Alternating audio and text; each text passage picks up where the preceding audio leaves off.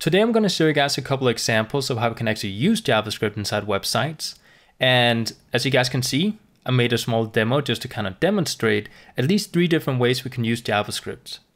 Now, do bear in mind that there's so many ways you can create stuff on websites with JavaScript, and this is just three of the different ways that you could possibly use it. So just to give you guys a feeling about what exactly it can do, I decided to make this small demo for you. Now, we will not be learning in this episode how to actually create this stuff, but like I said, it's just to give you guys a feeling of what we can actually do with it. Now, in later episodes, we will learn how to do this stuff, but not right now since we're still pretty early on in the process of learning how to do JavaScript.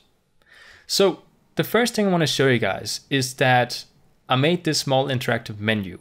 And what it basically does is that when you click the closing button up here in the corner, it actually closes the menu. And this is something you can see if you go to YouTube, for example. You have your small, you know, menu in the top where you can actually open or close the subscriber list. And this works in a similar way. As you guys can see, I also decided to move the main content as I open and close this menu, but you don't actually have to do that. You can do whatever you want with JavaScript. I just chose to design it in this way just because I thought it looked cooler. Okay, now the second thing I want to show you guys is that with JavaScript, you can do stuff like adding elements to your website. So let's say you have a portfolio, like the one I made a demo of here, and you have many, many, many different cases that you can show off to people when they want to take a look at your portfolio.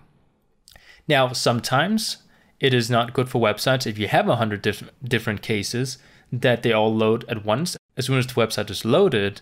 So instead, we can make this thing where it only loads a couple of them. And then when you click, for example, load more cases, it will actually pop up with some of the more cases you made in your past. Again, just an example of something you could do with JavaScript. Now, do bear in mind this is also responsive. So if I were to actually, you know, resize everything, you guys can see all the elements get moved around. Um, and that's just basic HTML styling. That has nothing to do with JavaScript. Now, the next thing that I want to show you guys, at least the last thing, is that I made this little input down here. And this is just a basic form that has just one input in it. And when I type inside this input, you guys can see that the text in here actually gets rewritten or like projected underneath the input. So we can see what we actually wrote down here. So we're gonna say hi there.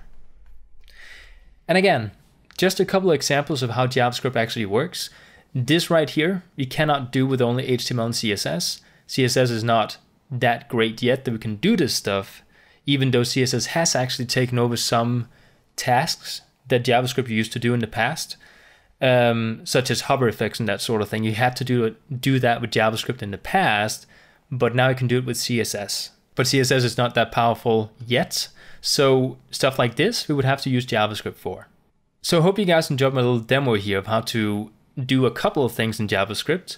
And I can't stress enough that JavaScript is such a powerful language that you can do almost anything inside a website that you want it to.